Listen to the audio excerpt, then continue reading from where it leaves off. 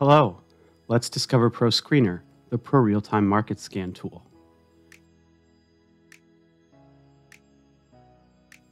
First of all, we'll define the conditions of our market scan. For example here, we want to detect all stocks where the price is greater than the 20-day moving average and that have an RSI greater than 50. To do this, we'll add the relevant indicators to a chart. Then, open the Simplified Creation module. ProRealTime includes several predefined ProScreeners, which are shown here. Let's click on New, then rename our screener to MA plus RSI.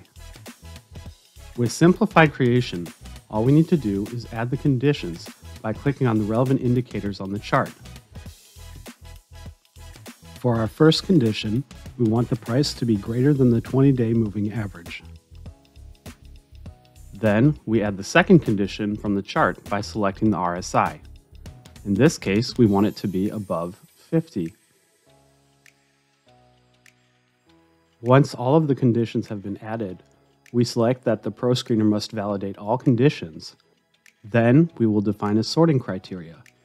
In this case, we'll choose variation from yesterday. Now we just need to choose the market and the time frame on which we want to run the scan. The scan results are then immediately displayed. In this case, we've applied it to the NASDAQ market. We can also modify our screener, for example, to change the reference time unit, or change the market on which we run the scan, or even choose to run it on one of our personal lists. As you can see, the results are calculated in real time and respect all of our conditions. For each stock in our screener, the price is above the moving average 20 and the RSI is above 50. To go even further, you can also perform a market scan on different time units. For example, let's add a condition in the 1 hour time frame to our market scan in the daily time frame.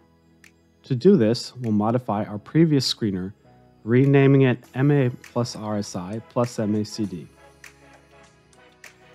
We'll then add our new hourly conditions. Here, we want the MACD to be greater than zero in the one hour time frame, and our new screener to respect all the conditions. Then, let's apply our scan to the NASDAQ market.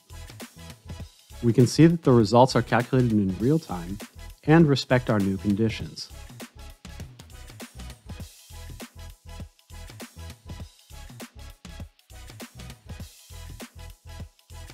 We can also choose to modify the conditions of our ProScreener, add conditions, or remove conditions. If you want to use more elaborate conditions, the platform includes a programming module with the option of modifying the code manually, as shown here.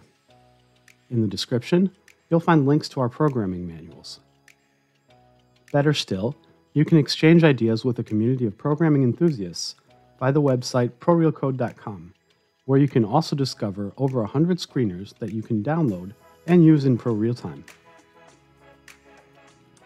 You'll find the link to this website in the description. Now you're ready to create a market scan using our ProScreener tool. See you soon on ProRealTime.